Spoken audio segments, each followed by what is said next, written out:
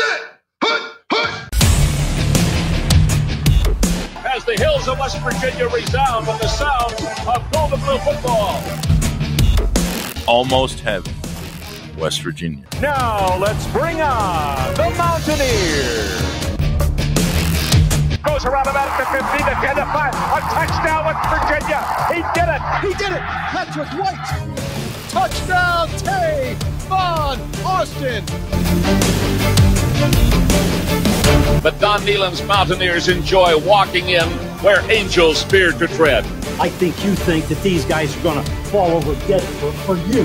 Well, I got news for you. They're going to punch you right in the mouth. It's Mountaineer pride. Nothing cheap, nothing dirty, but West Virginia football. Right? West Virginia football. We've no doubt tonight they shouldn't have played the old Golden Blue. Not this night. They've done it. They've done it. A perfect season. And the Mountaineers, for the first time in history, undefeated and untied. Don Nehlen and his Mountaineers, for the second time, have finished a regular season with an unblemished mark. Ain't no stopping the Golden Blue.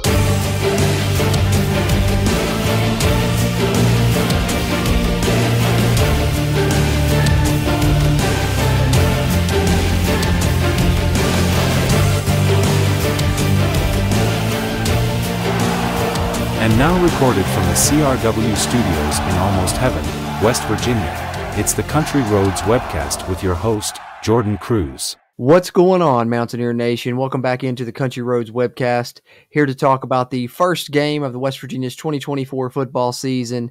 Didn't end the way we hoped, but we're still here to provide, you know, the review and reaction as we will be all season long, starting here with episode 191 here in season seven. And joining me to help me talk about it and discuss it, my two great co-hosts. We've got Bradley What up, what up, what up?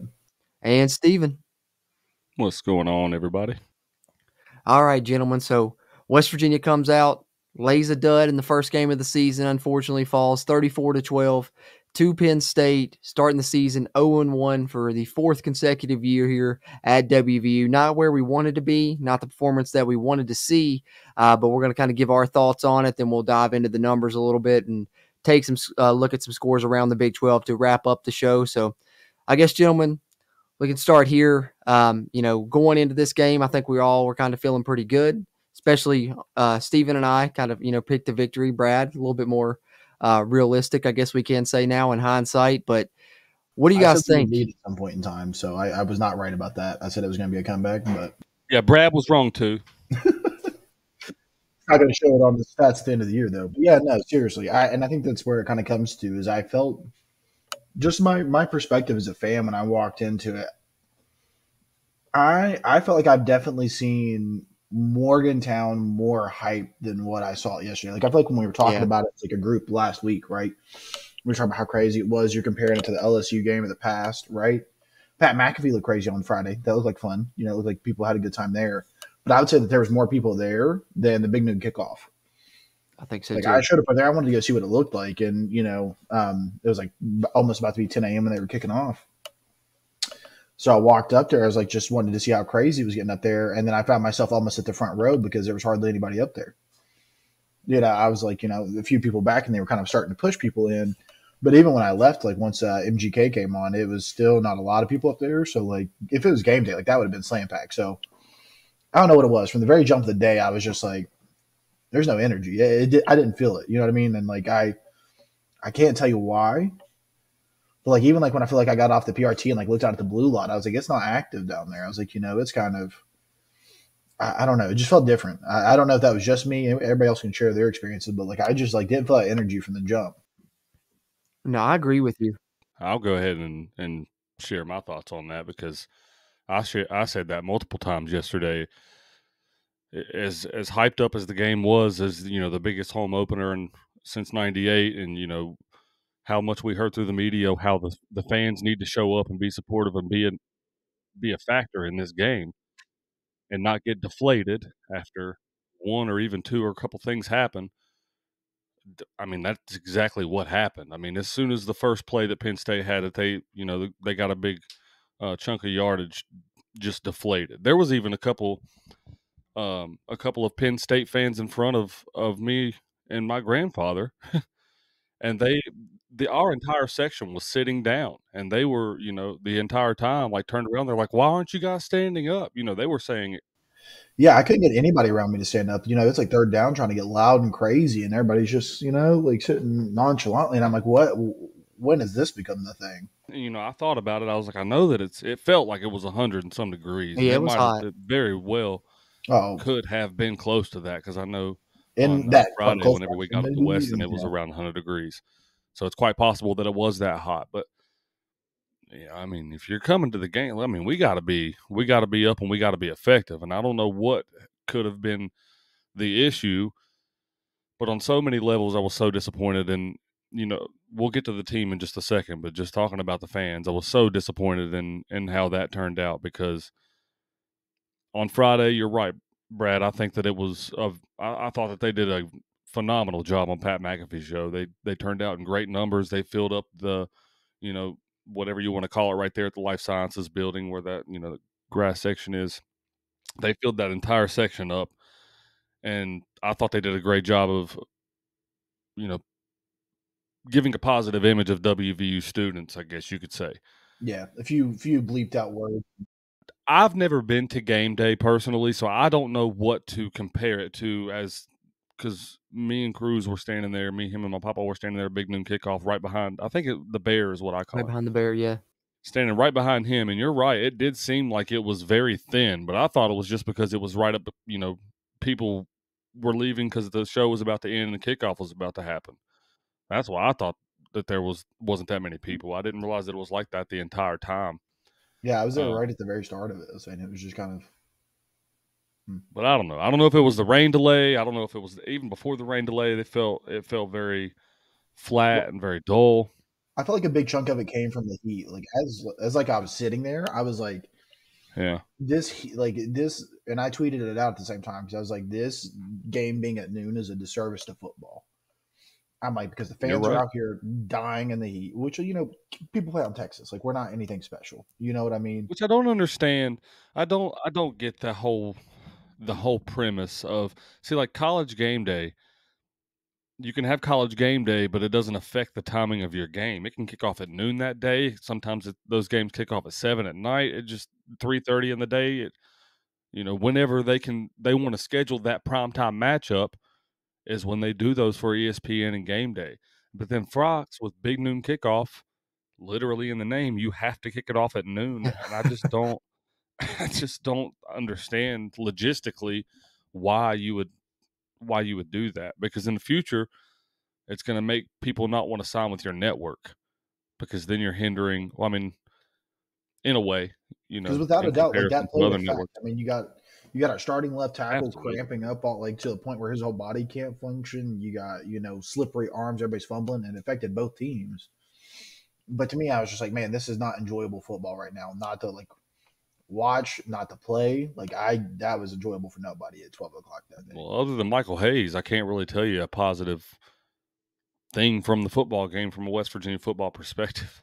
Well, I think I think uh, Josiah Trotter had a pretty good game, and Wyatt Milum before he before he went out. But other, that's probably the one player on defense, one player on offense that stood out to me overall. Yeah, Michael Hayes, best player uh, for WVU on Saturday, which you know not exactly the way that we wanted it to play out for sure. But I'm with you guys. I agree. The energy just didn't seem like it was there because you know those other games that you know Brad mentioned. You know the LSU game in 2011. You know some other ones in know the past decade or so when you walked into that stadium, you could just feel like electric electricity. You know, you felt just a certain vibe, and you didn't really feel that one in this. And I don't know, like you said, maybe the heat played a part in it, but I think it seemed like a lot of the energy was there in the lead up to the game. But then when it came around to have that energy for the game itself, it it had dissipated by that point or something. I don't know, but it definitely yeah, didn't feel that energetic to me. But play on the field, obviously, you know, I think in a lot of ways uh, the weather kind of mirrored how the day went for us as fans, right?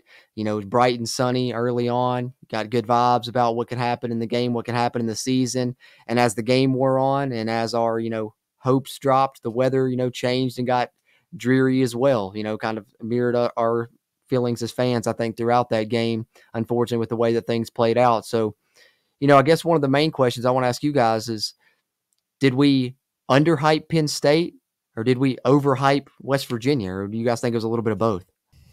Uh, I'll go ahead and answer that. The first one, I think we underhyped Penn State. Uh, I I truly believe West Virginia is going to be still be a pretty good football team this year. Whether we're, you know, whether our predictions in the season prediction roundtable are still accurate, I don't know, because the team didn't even fight yesterday. I mean, and that was that's what really disappointed me was it just they showed no fight, no tenacity uh, for a veteran group. You know, if this was a bunch of sophomores and freshmen, juniors, I'd be like, you know, we we you know, there's still time, but no, this is that's unacceptable to me. Yeah. Uh, so, um, but I think that it was just Penn State. Penn State was just a very, very good football team. I mean, they potentially they might not just make the playoff; they might win the whole daggone thing this year. They might play Georgia in the national championship. I was impressed as well. That might be an early prediction of mine.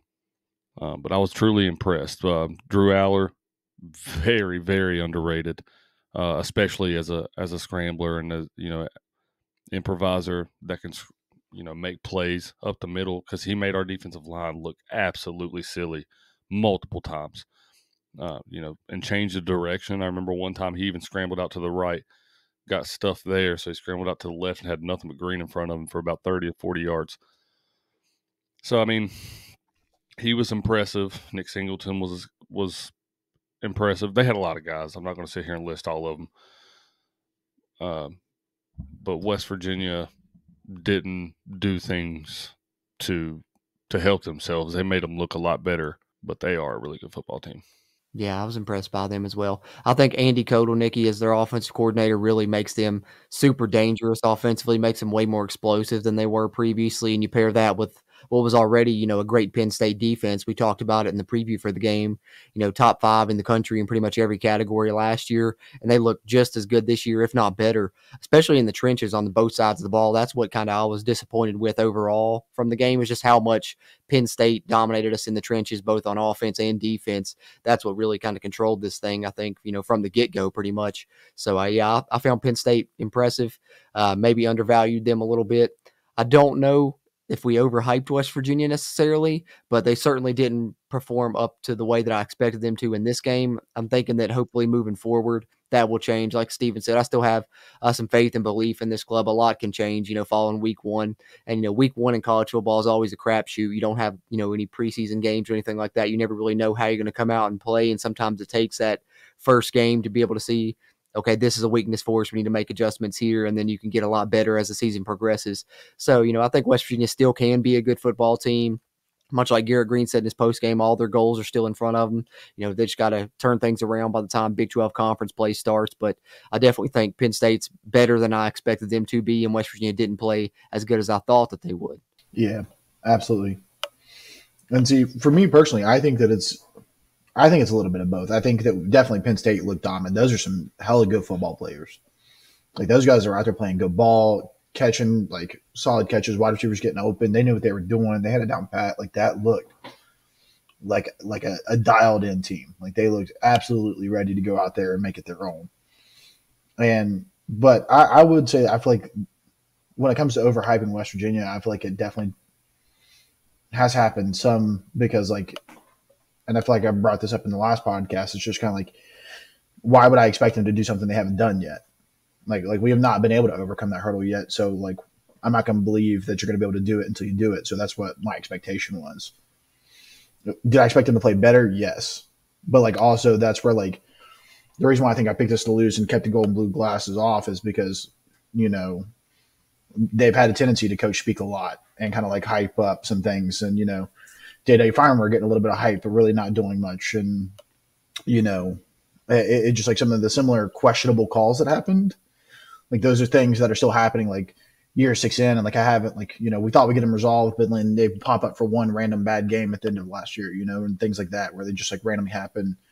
Uh, like in Oklahoma last year, where just all of a sudden your team doesn't play well. You know, you're like, oh, my team just went off the rails and didn't play the way that they usually play. I didn't expect that. And, you know, it just shows that it can still happen. You know, you listen to Neal Brown's post game, and it's like, if I if I know I had that problem, I could have fixed it. And it's like, how do you not know your team at this point? How do you not know that there could be a problem? Like if you can't feel it, you can't sense it. You just walked in there that day and then found out when you're down twenty to six. It's just a little suspicious to me. But you got the season to figure it out. So, you know, you weren't expected to win this one, despite what people say. So, you know, you got a chance to tune up against Albany and bounce back, maybe get a little bit of redemption on Pitt, run up the score, and then, you know, see what happens. Our future's in front of us. I'm sure they're taking it personally. If there's anybody taking it very worse than anybody else, it's Neal Brown and Garrett Greene and company. You know, there's nobody more determined to prove us wrong than them. So, True. But like that's where I came in. Like I feel, I feel like West Virginia was getting a little overhyped, and myself, I wanted to believe it. Like I was sitting at competitive with my dad the day beforehand. He's like, "You think we actually got a chance?" I was like, "I really do." I was like, "You know, he's got me believing team is what it's supposed to be."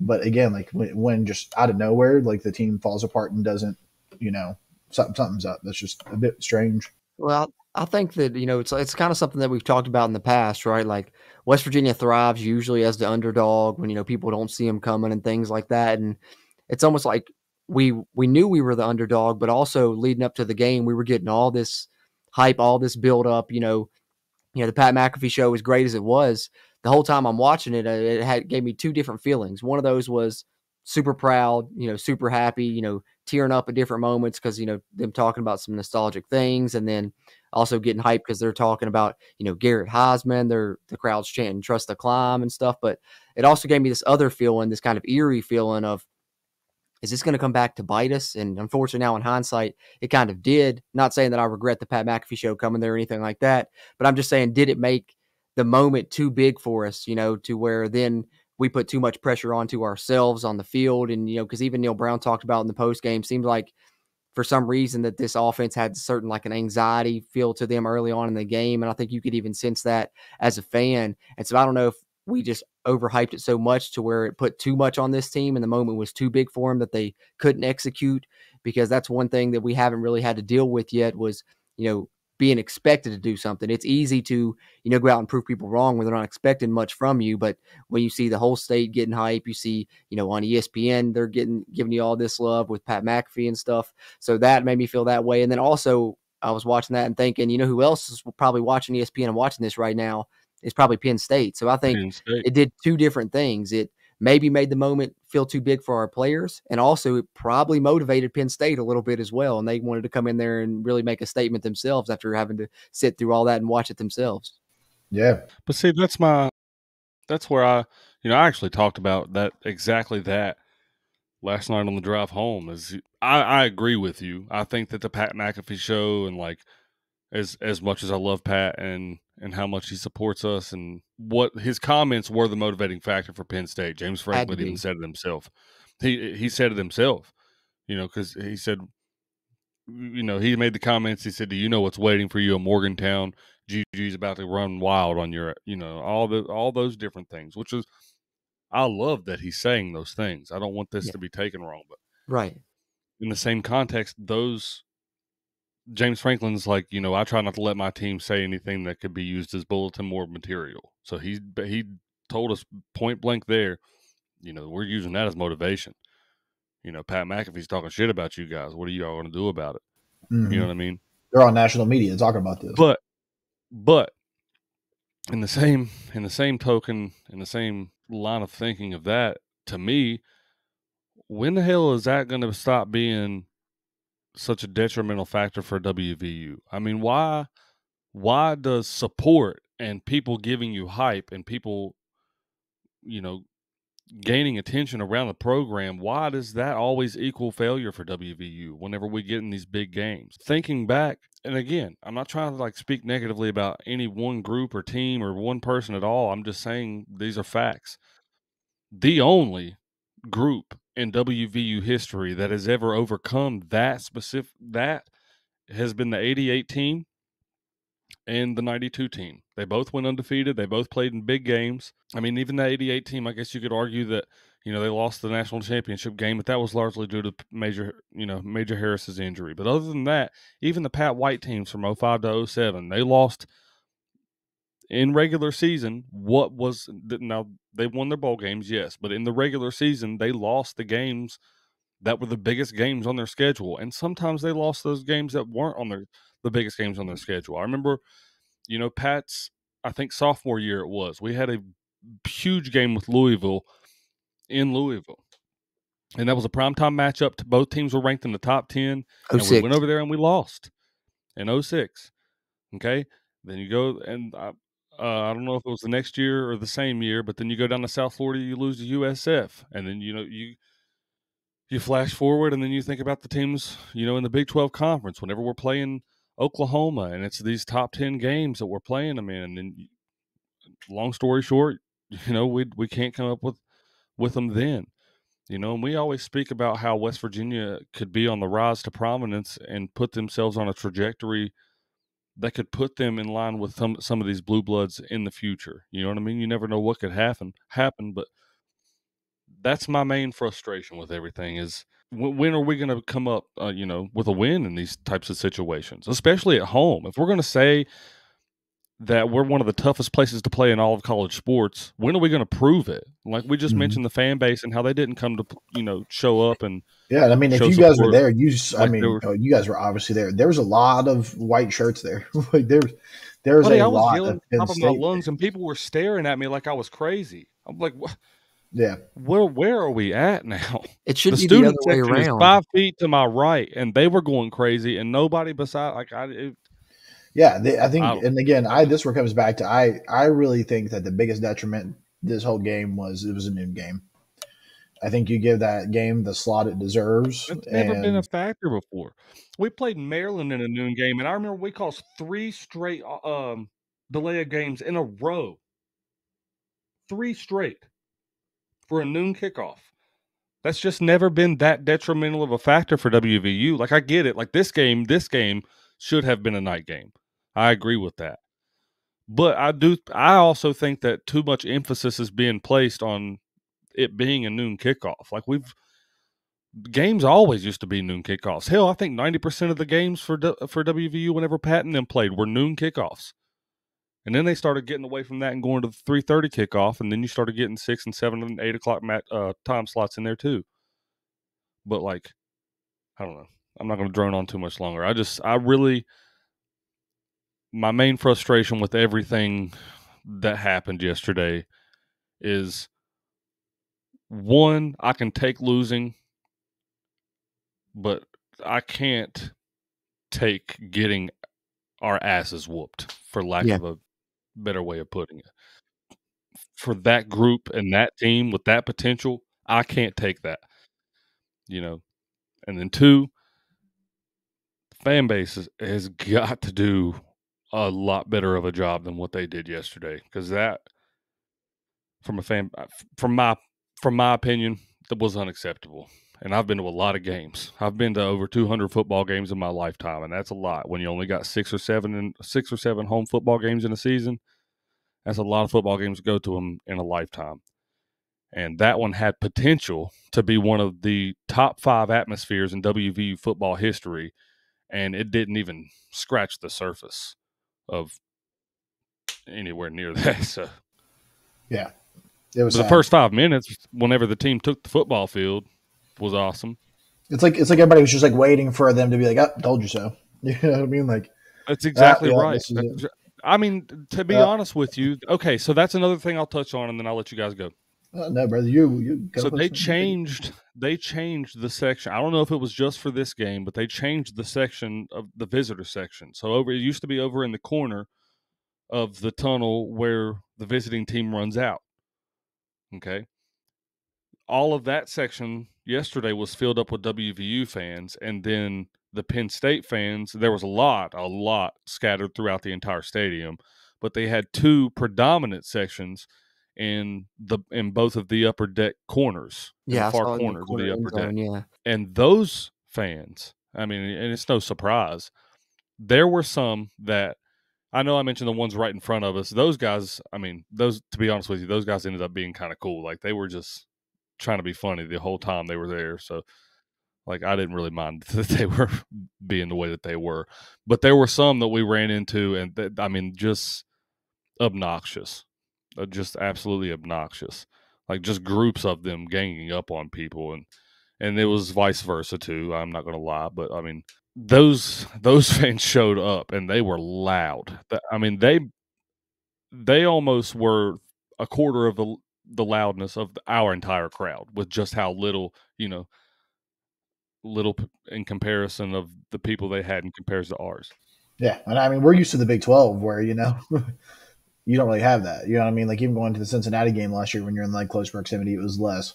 But I also made a note that you know there's probably also a lot of Penn State fans because they could afford the tickets. Yeah, I feel like though the crowd, you know, probably would have been different. You know, like Steven said, there was a little bit, you know, there at the beginning there was some noise and stuff, but it's kind of something that we talked about in the preview. Uh, you know, is that you wanted to get the crowd involved early, you know, and they tried to. They did, you know, try shot play on the first play of the game, couldn't quite connect with it. But I think for me, what it boils down to is kind of just missed opportunities early that really you know, pretty much cost you. I don't want to say they cost you the game because who knows how it would have ended up. But it, I feel like the game would have went a lot differently if you capitalized on those early opportunities, both for the players on the field and then for the atmosphere in the stadium as well. Because you know they talked about last year they had some opportunities in the third quarter when it was still a seven point game. I feel like this game you had opportunities in the first quarter when it was zero zero. You could have been the team that takes the lead, takes control of the game early. You get the early, the quick turnover from Penn State and then you give it right back with a turnover of your own, and then you get the ball back again, and it's still zero zero. You put a good little drive together, you get down there, and then you can't convert a fourth and one on a QB sneak. And so, you know, two opportunities with the game zero zero where you're in scoring territory and could have took the lead and took control of the game. And I think after that, the game turned and momentum kind of shifted and never really shifted back our way after that. So I think for me, those were some of the biggest moments of the game came right there in the first quarter that could have changed not only the way that the game went for the for the team, but also maybe for the crowd as well. Yeah, when you don't get that energy in there, good time to talk about, you know, Neal Brown mentioned all the time going through summer camp, hey, red zone, red zone, red zone. Brother, you get some opportunities at it and you you flub. You know what I mean? Like you said, that's what you worked on, and then you, you just don't even um, convert on it. And also, personally, I, I agree tush push is really good, but I also think that we have a six foot two, 240 pound log of a running back, you know, that we we could just slam up just about anywhere and get a yard as well. So true. To me, to me, if you're going to run Garrett Greene, that's when you pull him back into the shotgun and let him run. Yeah, like, put him on the out on the edge like they did. Uh, yeah, give him space and let him work. If you're going to go up the middle, dude, give it to your six foot two, 240 pound running back This guy, you know, well, see, I I don't know. I think that a large part of the reason I think the GG struggled yesterday is because they haven't. I mean, they don't have just a good defensive front; they have an elite defensive front. And the main thing that everybody was talking about leading up to this game, we talked about all the hype that they gave him, was Garrett Greene. Pat McAfee was gassing Garrett Greene up, and rightfully so. I mean, GG is talented, we know, but like they keyed on him, and everybody's like, well, "Why does GG? Why did GG suck? Why? Why didn't he do well?" I'm like every guy on that defensive front was like, get that guy. Yeah, like these guys got him all game. He wasn't going to get anything. All of and us probably felt him. a yeah. little uncomfortable and unusual without having Zach Frazier right in front of him and Doug Nester yeah. over to the right of him. He probably felt a little bit new. You know what I mean, and a little bit more scared yeah. than normal. And then you lose Wyatt Milum.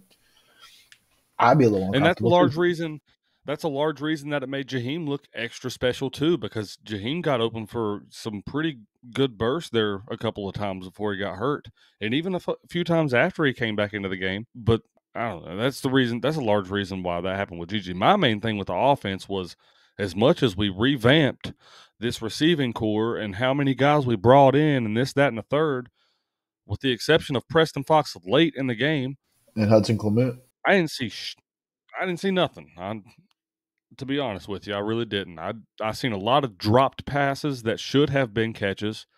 Yeah. And I I and some missed throws that were supposed of, to be worked on in the offseason too. You know, you're missing yes Cole Taylor out in the flat on seen, a play where you're like down in the end zone again where you're not converting and you throw yes a ball into just the dirt. Flat, that was you said that was just a bad pass on Garrett Greene's part. That's what I'm saying. But that, that was, was like one of those things he said he worked on all year like you said, they yeah. had very few things to work on. That was one of them. And then big game, big moment, and you miss him. You hit him in the toes. Well, you know, multiple times they had shallow cross routes over the middle, and you know, just drop passes. I remember like receivers are getting hit from behind. I get that it was contact, but you have to be able to make those catches as a Division One receiver.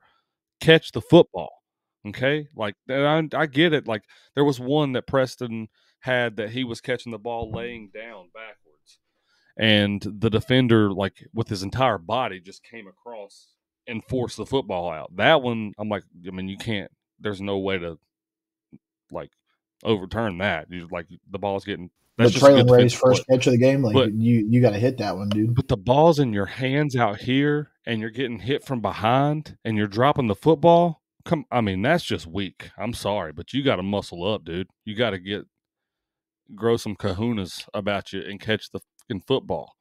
Yeah. Um, I thought that was unacceptable. And then also on the defensive side of the ball, as much as I've heard about the the guys in the secondary, you know, Garnett Hollis and Aiden Garnes and all these guys that we were really high up on, I still think that they're going to be good. But I didn't see anything out of those guys yesterday. And a large part of it, from what I could tell, was the you know the schemes that we were running on defense. They were just really good on offense about seeing that and and running plays that them essentially because that's why that's why you see that. That's why you see a whole defensive shift to the other side is because offenses are good at at, at really disguising their their sets, and it makes it look they're all going to one side, and they're really going to the other side. So that was a large a large part of the reason that it made them look worse than what they really were. But again, you know, if we're if we're talking about being elite on both sides of the football, why are we having those issues? to where we can't even be competitive with people like that because now it puts us in in a hard position if we do make the playoff and we show up and we play like that. Yeah, well, and like to that point, like you talk about, you come to where you can't even run your offense because you can't run a motion, you can't get your snap right, and then like you just cut that out of your whole playbook. Like, is that because it's Penn State and you're like, ah, well, if it's better not to, just use it.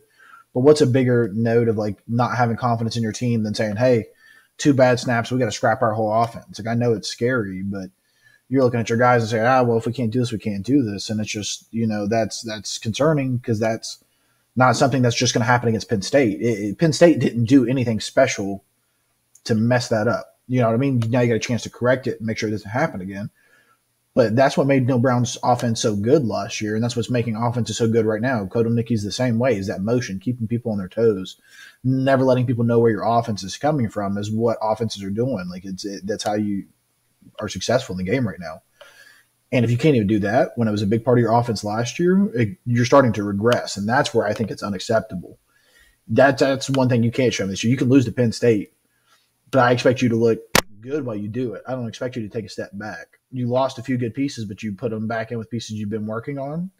But you you, you can't take a, a, step backwards. That's not where we're going. You know, that's that's not the direction we're going in. And so like, that's where it gets scary. Making bad calls, going for it, uh, going for two points when you could just go down by 14 and get in the game. That's that's that's not Penn State. That's you. You know, that's where it comes back to the scary part of all this is you know you think all this is fixed and like Neal Brown said, I didn't know I had a problem with it. I didn't know we were still doing this. Uh, you know, yeah, and I told you guys like right before the podcast came on. I think the biggest mistake of the game is when he didn't try to score a touchdown before the fourth quarter. I think you you you got a drive going, you got energy, you got momentum, you're pushing the defenses on their heels. You got eight, ten seconds, you're lined up. You can run a play. You, you're set up, ready to go. You sat and let five, six seconds run off the clock. In that chance, you take a shot at the end zone, you score a touchdown. You're not walking into the fourth quarter down two touchdowns momentum, energy, the building's going, we're only down two scores, you get one stop, you're back in the game. But now you let it go to the fourth quarter, then you spend three minutes. Three minutes. I think I got down to the 12 minute marker, if I remember correct, just trying to punch it in from the red zone. And so, like, there you just wasted three minutes your whole time. Penn State's got it easy now. And you struggle to score it then. For me, like, you can't keep doing that. Like, that's that six years are the same thing no matter who the opponent's been. Come on. Yeah. Offense has to play better the biggest defining difference to me was not having Zach Frazier. And I thought that it would be mm. pretty seamless. You know, we had Brandon Yates play center in, for us in a bowl game last year. Well, what the last two games, I mm-hmm. think even. Whenever Zach Frazier went down, and there wasn't really any kind of any any hiccups, and then you got what two or three even uh, three crazy snaps yesterday that caused fumbles And whether but those uh, those Garrett, Garrett, Greene and uh, Neal Brown both said were on get on GG. You know, he called for the snaps at the wrong time. That's why they went away from you know the motion and stuff they were using because uh, they had some good stuff called up with that motion. And Neal Brown said he even thought that the play, you know, when they got the ball fumble from Penn State and then turned it right around and fumbled it as well, that that was going to be a big play and possibly even a touchdown. But GG called for the snap too soon, and that's why it hit the hit the motion man. So then they had to get away from using their motion and shifts that, that they had a good game plan against Penn State's defense from. And I think that's why our offense kind of died down because they didn't feel comfortable doing it because whatever was going on with Gigi. You know, I love him to death, but that's probably one of the worst games I've seen him play, to be honest with you. And I don't know if, like I said earlier, if it was a thing where, you know, put too much pressure on himself because the moment was so big and everyone was so hyped for him. But, you know, even something as small as that, you know, he's a senior. He shouldn't be calling for the snap at the wrong time. It's just, I don't know. It's just something that, that can't happen. Yeah.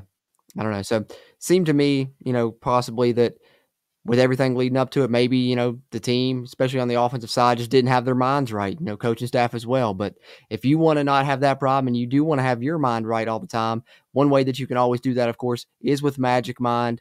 Um, you guys know yesterday driving up to Morgantown, driving back, could be tiresome today, you know, on Sunday, having to go back to work a full shift and stuff. But I really wasn't. I felt pretty good. And one reason that I did is just because of Magic Mind. Using it, you know, keeps your energy level up and it does it in an all natural way. So you don't have to worry about any risky benefits like you do with other energy products. So you guys know we can't recommend Magic Mind enough.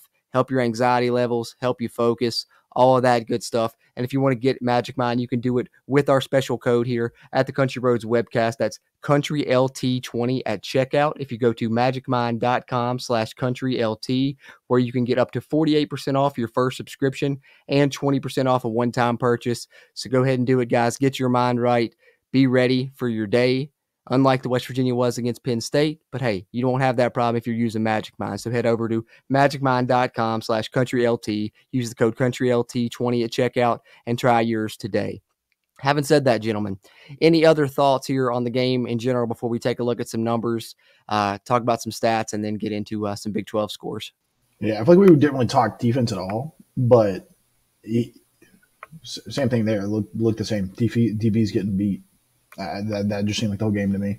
Mistakes, people being where they're not supposed to be, not knowing where they're supposed to be there. Like that was the whole defensive day for me. So we kind of, I think we avoided that on purpose because there wasn't really anything positive. Yeah, but if we're going to beat up the offense, we got to beat up the people that let them score 34. Well, I too. think for me, you know, the yeah, the defensive backs got beat, but I kind of am attributing that a little bit to Kotelnicki's scheme. You know, he's he draws up some good stuff to you know put our guys in, in peril a little bit there on the back end. But what I probably was most disappointed with on the defense was how the defensive line played. Like I said earlier, Penn State dominated the trenches. Of course, they dominated our offensive line at times, especially in short yardage. But we really didn't get any pressure on Drew Allar all day. And when we did, he was able to break out, break contain, and you know run for first downs on those third downs. So I think for me, the defensive line was probably my biggest disappointment on the defense. Because mm-hmm. you're right, it looked like they just bullied no pressure whatsoever. our guys all day. Yeah. No sacks, and they run for you know 220 some yards. Uh, not a good day for your D line. They've got to they've got to step it up there uh, for sure. So that's probably what I'm going to be watching over these next couple of weeks. Uh, is specifically us in the trenches on both sides of the football. I think our offensive line is going to be better than what they showed against Penn State. I'm kind of attributing that to Penn State having a dominant D line, but we definitely need to make sure of that because we do have, you know, some changes on that offensive line, like you guys mentioned, Frazier and Next, Nester being gone. So hopefully our offensive line plays better. And, you know, I think the defensive line can as well. Yeah. The question mark I look at, Rodney Gallagher was out there early. He was out there early, and then he was like watching him trying to tackle that Penn State defender. Granted, he just went for his legs, is what he should have done unpopular opinion. Unpopular opinion. I'm not a fan of the dude playing both ways. It already seems to me like it's just it's gassing him way too early in the football game yeah. when we could be utilizing him at one of the either one. Like just pick a position and play that position. I mean, he had our probably best, you know, we tried to throw a few screen passes on offense. Most of them didn't go anywhere, but the one we threw to him gained, you know, eight or nine yards. So on offense, he made a play. And then, like, you know, on defense, I don't want to necessarily say he struggled because I don't think he really had enough reps to say he played good or bad. But Neal Brown did say in the post game press conference that, you know, it was a little bit fast for him. And that's why you didn't see him back out there on defense in the second half. So if, if the game's moving too fast for him on defense, maybe just stick to him on offense, let him improve his game there, like you're saying, Steven, and you know, just ride that out. I don't know. Well, I mean, maybe next week, you know, coming up this week, coming up against Albany, he'll get a chance to play defense and it'll slow things down for him on that side. But if it doesn't and he's still struggling, just let him be an offensive player. Well, that's what you know, like Neal Brown. For one, Neal, stop saying shit because I believe it. it's like, you know, you. He's like, well, our well probably our best coverage guy on man to man is is Rodney Gallagher. I'm like, oh, oh man, okay, because I feel like we got some coverage guys. I mean, within he wasn't even within two yards of the dude on on just a simple out a five yard out route. Like on a, I was on a fourth Come down. I'm not saying I can play the position. I'm just saying if you're gonna gas somebody up that much and say he can, then like I watching him try to tackle that that wide receiver, I was like, that's just sad. Like that that's a person that's a wide receiver just trying to like take out some legs.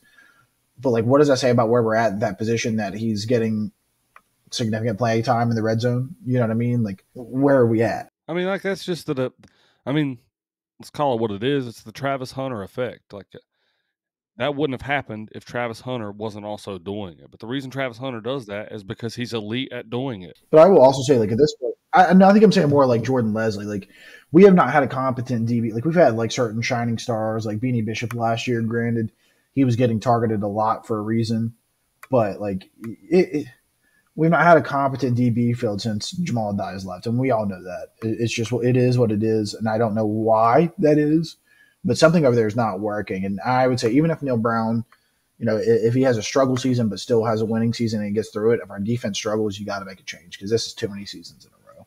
I, I think personally, even if it's not just even if it's not a change as far as like a coaching change, we got to do something different schematically somewhat because I feel like we're just far too conservative on defense. Like we don't bring a lot of blitzes. We're rushing three guys or four guys almost every time and just sitting back either in you know cover three zone and they're they were picking that apart. And then when we tried to go man to man, that wasn't working either because our our D backs couldn't cover those wide receivers. Apparently, you know Penn State has some talented guys, of course. So hats off to them. But if we're not going to be able to cover people, whether we're sitting in zone or whether we're sitting in man, then let's at least heat up heat up the quarterback and you know try and make something happen that way. Because sitting back and playing conservative just isn't doing it. Know, that, the whole giving receivers a cushion of five yards every time and then just trying to catch them, that's not working because then you're trying to make arm tackles and you can't do that because you're so weak you can't bring the guys down. And that's why those big plays happened a lot of times. And then even, you know, that I will say the first big pass play that Penn State got was it, it was offensive pass interference. Like mm-hmm. it just the dude pushed him off. I mean, that was just plain as day. I don't know how you don't call that. But besides that, I mean, they just burnt our guys like all day long on the back end. And I mean, like it's just it's frustrating because you've seen these players play better than that. Like you know that they're better than than that. So it's all got to be from a from a scheme standpoint because not every single player is going to just always give you 5 yards. They're better than that. So I don't understand why why Jordan Lesley continues to do because they've, done that for the entirety of his tenure as defensive coordinator. I've noticed that they whenever they start to feel like they're getting burnt, they're like, okay, five yard cushion, and then just go get the guy. But then they just they they can't tackle. Yeah, then you get nickel and dime down the field too. You just get 15 yard, 15 yard, 15 yard, and then Well, and that's the problem when you're playing a team like Penn State that you know probably you know has more talent than you. Obviously, they have a very talented roster. They recruit you know up near the top of the nation. What's your advantage going to be is probably schematically. You're going to have to out scheme these guys. And so not only were they more talented than us, but they out schemed us on both sides of the football. And that's a recipe for disaster. And that's why we ended up with the result that we did. But hey, uh, at least, well, we won the special teams battle. that's a that's a bright spot, right? Michael Hayes is a good kicker. never had a chance to return a punt though. No, no, we didn't. I would like to see uh, Preston Fox do that, but hey, um, Michael Hayes and Oliver Straw had good games. You know, players of the game right there. Players of the game. MVP.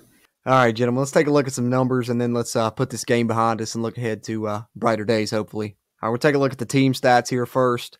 Obviously, 34 to 12 final. See the scoring broke down by quarter there if you're watching on the screen on the video version. You know, the second quarter is when Penn State really kind of broke the game open. It was 0 0 after one. West Virginia had plenty of chances in that first quarter that we talked about. Uh, third quarter, Penn State adds another seven. West Virginia finally gets the ball in the end zone in the fourth quarter, adds another six to get to the 34 12 final. First downs in the game 21 for Penn State, 19 for West Virginia. Third down efficiency 5 of 11 for Penn State, 4 of 14 for the Mountaineers. Penn State 1 of 1 on fourth downs, WVU 3 of 4. Total yardage, just huge discrepancy here when we get into these numbers 457 for Penn State to 246 for the Mountaineers. Passing 235 for Penn State, WVU passed for 161. Um, of course, West Virginia did throw the one interception. That was when Nico came in late in the game there. Rushing wise, unfortunately, West Virginia sees their streak of 16 consecutive games with 140 plus rushing yards snapped as they only managed to run for 85 yards in this game. Penn State, meanwhile, rips off 222 yards. West Virginia does play, you know, disciplined as far as penalties are concerned. Um, eight penalties for Penn State, only one on the Mountaineers. WVU loses the turnover battle three to one two fumbles and the aforementioned interception. Uh, time of possession ended up about even, but a lot of that is because you know Penn State getting the ball later in the second half, kind of working the clock. West Virginia did have a good advantage on time possession early in the game in the first half. So, uh, looking at some of those numbers, gentlemen, uh, what sticks out the most to you there, Stephen? I really was trying to find, you know, other than the box score, what what really jumped out at me. I mean, obviously the total yardage, you got 200 and some. Yeah, I mean, I think it's the more running yards for sure. We did. I mean, the running yards are Their that's where yards. we're at. Yeah. Yeah. Because yeah, you Jordan like Jordan's been saying it for years now. You know that when Neal Brown gets over 100 yards, he he usually wins. Yeah. And when you don't even scratch that, when you've got three dominant running backs, that's that's that's your issue right there. You can't get that running game going. They made us one dimensional, and then they tore us up. Well, I think it was like Gigi had what, like 10 rushes for like five, Five yards. yards, In for five. Yeah. something crazy like that. Yeah. I mean, that's just not. And it, it didn't even feel like he had like a chance to scramble. Like it, it never felt like he had a chance to do what he did best. And I don't No. know why that is necessarily, because let me remind you all, I'm just a man that loves West Virginia football. I am no football guru. I have watched a lot of football, but I'm just on here because I love us, you know, love the Mountaineers. So, but come on now. Well, I mean, Penn State, they was loading the box. They were running, you know, cover one with a spy on Garrett Greene so that if he did, you know, get out of the pocket, they had a guy, you know, chasing him around, simply accounting for him. But if someone's going to load the box on you and plus they're running, you know, a spy on your quarterback, that's one less guy in coverage. We should have been able to pass the ball better than what we did in this football game. The rushing numbers stick out, but, um, you know, since Brad mentioned that, I'm going to say the passing numbers stick out to me because – 161 is not going to get it done, but what really is not going to get it done is, you know, 15 of 29, Garrett Greene, you know, being 28 of those, 15 to 28. The one thing they've talked about throughout fall camp and people have harped on is the completion percentage getting that up. They said it had really improved through fall camp, but in this game, it's right where it was last year, you know, 54% for Garrett Greene. Not going to get it done, especially when it's a game where Penn State's pretty much daring you to throw the football and you're not able to do it. Some of that's on Garrett Greene, some of that's on the receivers, as I mentioned earlier, drops and not getting separation. So that's going to have to be something that improves. But also, you know, our run game needs to set that up. That's kind of what our offense is going to hinge on is the run game. And if we're not getting the run going, it's not going to be able to take our play action deep shots. It was just bad performance on, you know, both both passing and rushing for the offense. So, you know, you can really point out either one of those. When you only gain 246 total yards, it's a bad day at the office. Mhm. Let's take a look at the uh, individual numbers real quick, and then we will get ready to wrap this one up after we talk about some of the Big 12 scores from week one. Um, for the Mountaineers here, 161 yards for Garrett Greene on 15 to 28, as we said. Drew Allar, another strong performance, just like he did last year. 216 yards and only 11 completions, so shows they were, you know, hitting some chunk plays down the field. Three touchdowns for him, no interceptions. Uh, the other quarterback that they played, Pribula, ended up one of one for 19 yards and a touchdown. Rushing wise, CJ ends up the lead rusher for the Mountaineers, 12 carries, 42 yards, and a touchdown. But I thought Jahiem White had some good runs, and you know, in the first half prior to him injuring, I believe they said it was his shoulder. He did come back in the second half, but wasn't as effective at that point. He ends up with eight for 33 yards. Uh, Nicholas Singleton, big day for Penn State, 13 carries, 114 yards, and a touchdown. Allar hurting on some scrambles, as we mentioned, 44 yards rushing for him on six carries. Receiving wise, uh, best receiver in this game uh, was on Penn State side. Harrison Wallace really killed us, especially in the that second quarter. There, five catches, 117 yards, two of those being touchdowns. Omari Evans two for 55. Uh, the tight end Tyler Warren three for 30 and a touchdown. And of course, we mentioned Kaytron Allen uh, with that 20 yard touchdown reception as well. For West Virginia, Preston Fox two catches, 41 yards. Probably had the best day of the Mountaineers receivers. Hudson Clement added two catches, 34 yards, and Traylon Ray four catches, 37 yards uh, for WVU. Um, then on the defensive side, Josiah Trotter really the standout for the Mountaineers, leading the team in tackles with 10, five of those being solo. Anthony Wilson added nine tackles. Thought he played uh, pretty good as well. Uh, then on Penn State side, uh, Kevin Winston Jr., 12 total tackles. Jaylen Reed, nine tackles, a TFL. Tony Rojas a tackle and a half for loss. Zane Durant a tackle and a half for loss. Um, and of course, um, that uh, another guy come in and force a fumble on Garrett Greene on a nice strip sack play. So their defense was really flying around in the football game. Um, anything you guys want to add there on the uh, individual numbers? Just I had a good day. You guys were right about. You guys might be right about him being the, the leading tackler this yeah, year. the top four on that list don't surprise me. Now, Reed Carrico also. I think he. Yeah, uh, that I was surprised me. impressed That by one did him. surprise me. Seeing Reed Carrico when it felt Oh, like I've been got I've been pretty excited about him. He transferred from Cutter Ohio State, more so play. though. He's got a good defensive pedigree. You know, to transfer from a place like that. So that's why I was excited about him. But where do you see any of your defensive linemen at? Yeah, that was about the same thing I was about to say, Brad. When you look at our leading tacklers, linebacker, defensive back, linebacker, defensive back, defensive back, defensive back, you don't get to a lineman until you get down here to Fatorma Mulbah. So, I mean, that's obviously showing you how much Penn State was dominating in the trenches when most of your tackles are coming from your back end of your defense. hmm Just another thing that shows uh, not the best day for West Virginia, unfortunately, but that's a look at the numbers in this one, uh, both team and individual wise. Any final thoughts on uh, Penn State, West Virginia before we uh, take a look at the other games around the Big, Big 12 and do our around the Big 12 week one recap, guys? Hopefully, we don't play them for another thirty-five years. I wouldn't be mad about it. Yeah, like I said, it, it, it I shouldn't have been expected to win that one. Season's not over; it's long. Big 12's wide open, but we're gonna have to win some big games if we want to make it to Dallas in December. So, yeah, right. Get focused, shrug it off, and you know, let's hope that that was a, a fluke, a one-time gimmick. That's it. We have to come on here and talk about it on the podcast. Then we're going to put it behind us. The team's got to watch the film of it. Hopefully, it's a learning process for them and they can put it behind them as well. Look forward to Albany. Look forward to the rest of your schedule. And, you know, that's the good thing about the 12 team playoff this season is that non conference games are kind of more insignificant than ever before. Really, you just need to use them as learning opportunities, get yourself right for conference play, and go out there and try and win the Big 12, get to the Big 12 title game, which is this team's goal. So, we'll see what happens when that comes around. Got a couple games to get through first that hopefully uh, we'll play a lot better in. But yeah, definitely not mad to put this one behind us, guys. Having said that, let's take a look at the Around the Big 12 segment here in our uh, first review and reaction podcast of the season here on episode 191. Looking at some of the scores here from Thursday, UCF handles New Hampshire 57 to 3. Kansas takes down Lindenwood 48 to 3 uh, Colorado with a nice, you know, win there at the end, you know, holding off North Dakota State. Unfortunately, you guys know I was pulling for North Dakota State in that one, but they gave him a heck of a game. Colorado's defense looks suspect a little bit again, but Travis Hunter's a hell of a football player, man. You got to give it to him for that. He almost single handedly Yeah. won them that game with, you know, that incredible touchdown catch. Mm-hmm.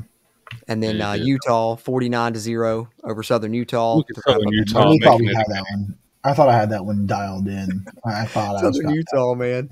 Southern Utah. We thought we thought they were going to pull the rabbit out of the hat, but nah, no. Cameron Rising, I think five touchdowns in his uh, first performance back there in his 22nd year of college football.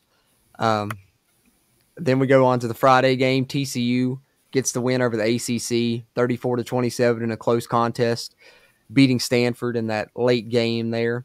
And then, of course, the Saturday slate. We know what the Mountaineers did, falling 34 to 12. Oklahoma State, uh, 44 to 20 over South Dakota State. Cincinnati, 38 to 20 over Towson. Iowa State, 21 to 3 over North Dakota. Baylor, 45 to 3 over Tarleton.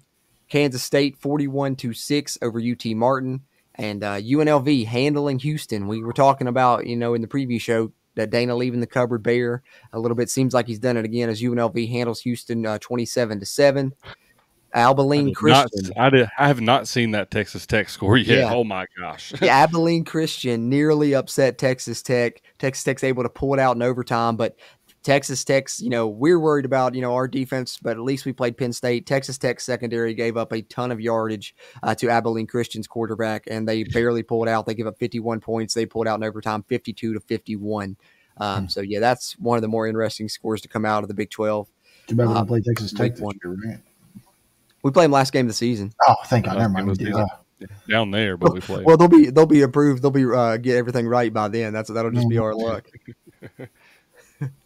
uh, BYU and Southern Illinois. BYU with a big win there, forty-one to thirteen. Arizona State, uh, 48 to 7 over Wyoming. Thought that would be a closer game. And then Arizona, 61 to 39 over New Mexico. Arizona's defense didn't look the best, but guys, T Mac, 300 plus yards receiving and only 10 catches. One of the best performances in week one. Their passing game's looking, you know, as expected, but their defense, you know, maybe leaving a little bit left to be desired. But uh, what anything you guys want to comment on here as far as the Big 12 scores from uh, week one? Yeah, Texas Tech. Holy crap. Yeah. I blame That's the first thing Christians I'll whip up with some people this year. Houston is still bad. Um, Arizona, I might have been very, very wrong about. They got to get the Uh, defense fixed, but their offense is it seems to be still be And- firing. It's shown that that can win before. So And it's Doesn't going to be matter. BYU Cougars. Woo! It's going to be BYU. I was waiting on that one, Steven. I was waiting on the, you to shout out the BYU Cougars getting that win. So that's what we had there. Proud Uh, of 'em. I'm. It's a tough game with Southern Illinois there. tough game. They pulled out. Tough they pulled game. out. Double digit double digit victory. So that's kind of the results there from around the Big 12 in week one as we get set to uh, wrap up our first review and reaction podcast of the 2024 season. Unfortunately, you know, not on the best of terms. We would like to be talking about a win instead of a loss. But hey, that just means, you know, we got opportunity to get right against Albany. And Albany's a team that, you know, had a good season in FCS. We'll talk about it more, of course, on our preview show coming later this week. But if you're looking at a silver lining, uh, West Virginia, you know, they'd have beat Penn State, maybe they'd have been overlooking Albany. That's certainly not going to be the case now. I think they're going to be uh, super ready for this football game, and hopefully they take out their frustration on Albany this weekend. And um, you know, everyone get to Morgantown, stay behind this team, keep supporting them because that's kind of the final thought that I have here, guys, as we get uh, close to wrapping this up. Is just I don't like the overreaction from a week one loss to a top ten team that you know people are saying, "Oh man, we'll be lucky to make a bowl game." Oh, fire the whole coaching staff. You know, you're already seeing that after just a loss to Penn State, and let's just pump the brakes. It, it's week one. You know, crazy stuff happens in week one in college football. Let's not forget last year Oklahoma State lost 37 to seven to South Alabama. And then turned around and won the conference. So a lot of things can change throughout this season. West Virginia's goals are still in front of them you know, if we get to week four, week five into Big 12 play and we look like that, then we can talk. But right now, let's just stick behind this team and, you know, keep supporting them moving forward, I think. Yeah, there's been I th- I've seen a lot of people say that well, you know, how are we still have, you know, how are we still this bad of a team, you know, this far into Neal Brown's tenure? I'm like, let's not for let's not forget, okay? He was left with nothing, pretty much. Nothing in terms of recruits. He's had what is it, his sixth year going into his sixth year now? Is sixth year, yeah. his sixth year. I would say, with an asterisk, it's pretty much his fifth year because you know you got a COVID in there and in, so that starts that you know halts things. I think he's done a phenomenal job of building our program back to where it has culture, where we have quality depth, where we have you know really excitement building around our program, even with our team not being ranked right now. That's what I think a lot of people that was lost on a lot of people. The way that we were getting attention this past weekend, and I, you know, we talked about it, we came up short, and that's that. But the attention that we were getting was like we were a ranked program. You know what I mean? I don't ever remember in my lifetime West Virginia garnering that much attention around a game when they're not ranked. So that that is really cool. So there's a lot of positives to take out of it. I think that the platform that we got that we were put on was really positive this weekend. But I I truly do think we're still going to have a special season this year. But I think that Neal Brown is is going to eventually be remembered as one of the greatest coaches in WVU football history when it's all said and done. Because I mean, we we get impatient and we are frustrated. I know I'm frustrated, but I mean, my gosh, like we got to remember, like in the the longevity of things, like how recent it is that we didn't have anything in the cupboard there because we went for a whole decade with Dana Holgorsen not not gaining like, not getting recruits and not really recruiting for the future and that really sets a an entire program back. I don't think people are like, you know, it's time for his for everything to start you know being a product now, which is true in a lot of ways, but also in some ways like it's not necessarily to me anymore about like, well, you got to win now or you're fired. You know, if he wins, if he wins eight games this year, I still consider that a success it's just such an overreaction because people are saying that and it's it's one game into the season. He could win the next 11, you know what I'm saying? And then and then who looks and then who looks dumb if he does? It's the people that are saying that after one week one loss to a top 10 team, you know what I'm saying? He's not going to be Neal Brown's not going to be the one looking dumb if he turns this thing around. It's going to be the people that were saying this crazy overreactive stuff after, you know, one week. Yeah, and I and I think I'm going to be one of those dumb people though. I cuz I, I'm just like having more realization where it's like I'm sitting back and I'm looking at it and the, the program's getting everything it needs. Like Steven said earlier, to fans, like they showed up. They may not have been as energetic, but like they got the Pat McAfee show. Wren Baker's getting us all attention in the world. They're getting as much support as they need. NIL is getting bigger than ever. They're pushing for everything. And when it comes down to it, is love Neal Brown, love the culture he's building, and I believe I want to believe that it could win. You know, and I, I know that kind of culture can win but again, when you look at it, is is Neal Brown just going to be a 500 coach? You know what I mean? Is that just where it's at? Because when you look at it, and somebody made this Facebook post, I'm gonna I'm gonna call it out here from Thorn Thorn, and he's breaking down Neal Brown's record over the past 61 games uh, against losing teams. Neal Brown is 18 and four, great. Um, against teams that are six and six, he's 0 and one. Um, against six win teams that are winning teams. They is five and one. He has two wins over a seven win team. He's two and four against an eight win team. He's two and six. And then nine, 10, and beyond, all with at least one game, he's lost. So against winning teams, Neal Brown is nine and 25 in his time here. Now you can chalk up maybe some of this as early years, but it still just shows when it comes down to it can he get it done against the good teams when it matters? And so far, he's not shown that to us yet. So, like this year, with our schedule coming up the way it is, if you don't find some of those wins, we're not going to do great. And right now, history is saying that you're not. Right now, though, you may have one of the best teams that you've had since you've been here, though. But what I saw last night is not as good as what I saw as a team that played it even in Penn State last year you know, it, it, seemed like another step back. And like I said, you got a whole season to figure that out. You got a nice tune-up game at Albany. You got Pitt that you can go up there and you can you can really stomp them because they don't seem like they're going to have a good year. You know, kind of do what you did last year after the Penn State game. But this is the year that you, to me, that you got to prove that you can get those coin flips. That you that you can not only get to nine wins, but that you can beat some damn good teams on your way to doing it. That you can show up and, and, and handle them and that's that's what you got to see. And and I I think that I am one of those people that it's like at this point, Hoppy Kercheval said it earlier today on the um, three guys, great show today. He said, you know, this is year three for Neal Brown, and like I just don't know how I feel about that because it is.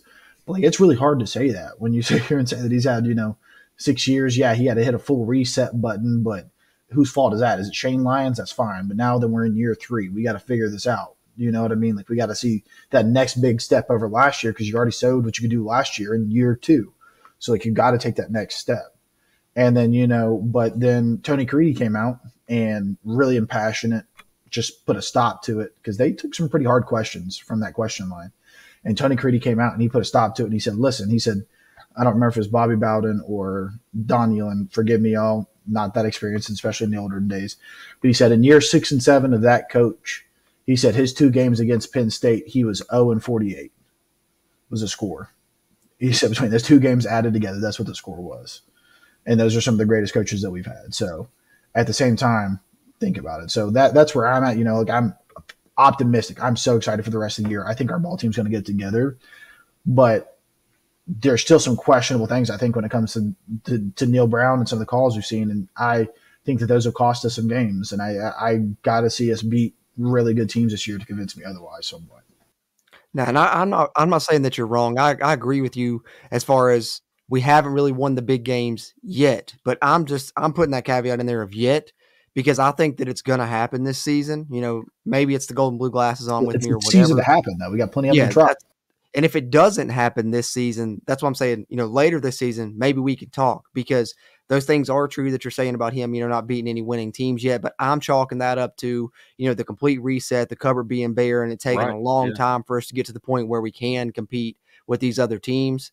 Um, you know, I I was being optimistic on the Penn State game, but look at our history against Penn State. None of our coaches have really beat Penn State at a consistent rate.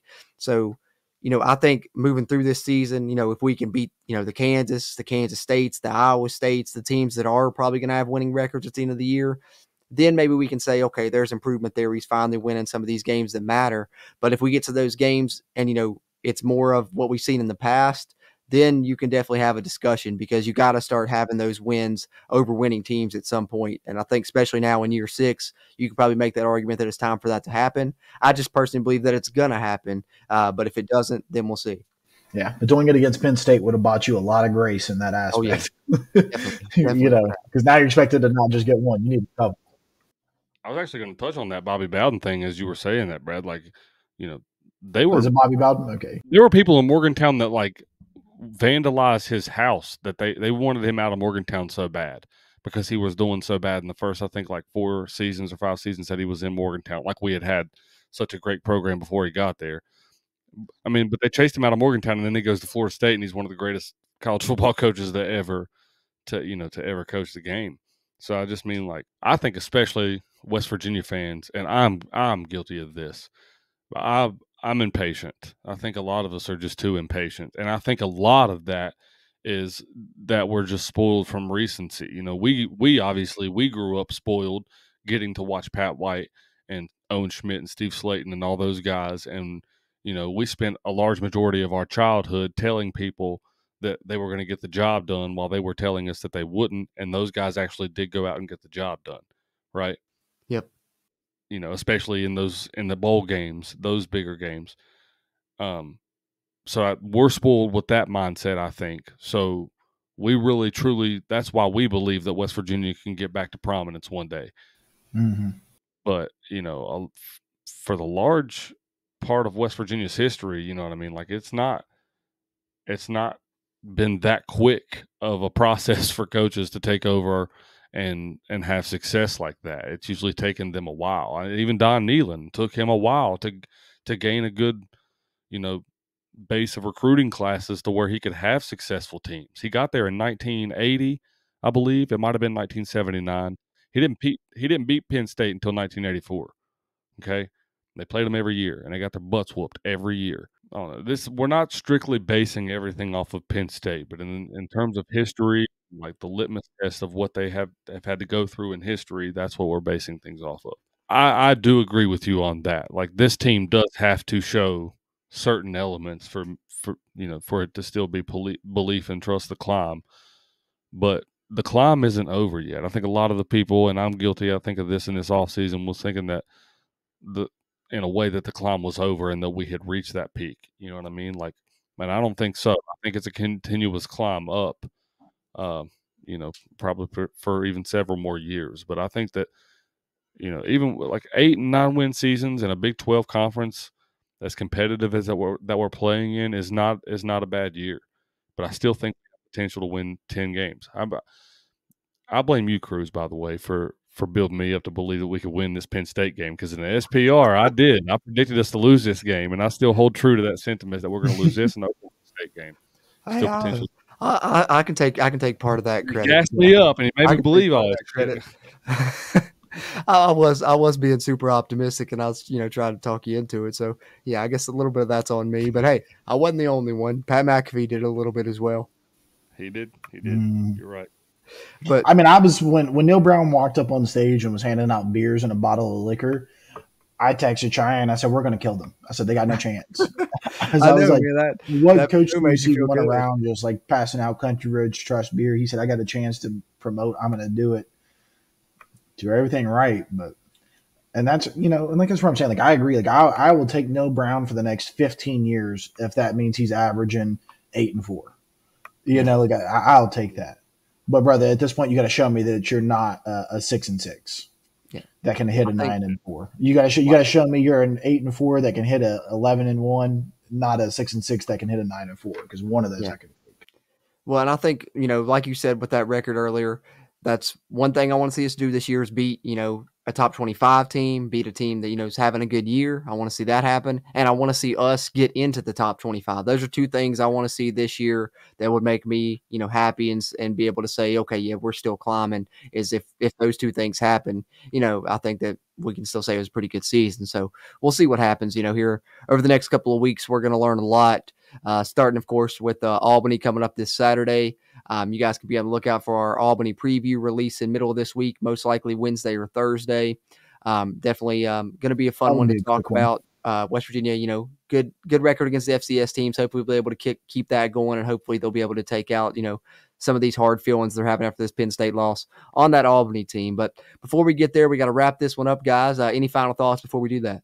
Uh, the only thing I'll say is my final thought is to your sentiment that, that you just said about the getting in the top twenty-five.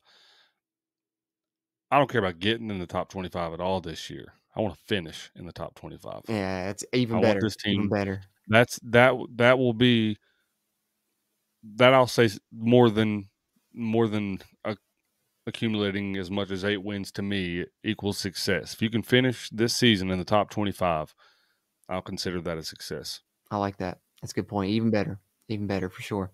Brad, any final thoughts?